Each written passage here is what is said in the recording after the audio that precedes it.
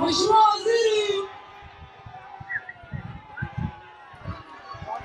Mheshimiwa Waziri, ujenzi wa barabara hii ni muhimu sana. Nyinyi amezungumza kwa kirefu, na mimi nisingependa nizungumze kwa kirefu sana.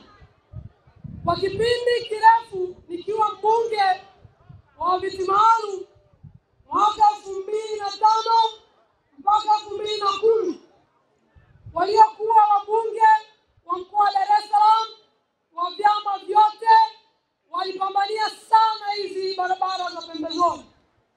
Tulipofanikiwa kuingia bungeni mwaka elfu mbili na kumi elfu mbili na kumi na tano na sisi tukiwa na jukumu la kubeba maslahi mapana ya wananchi wa mkoa wa Dar es Salaam, tuliendeleza gurudumu la kupambania barabara hizi.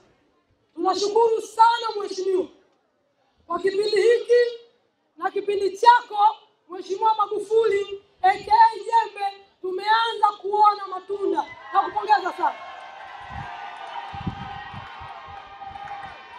Ni imani yangu,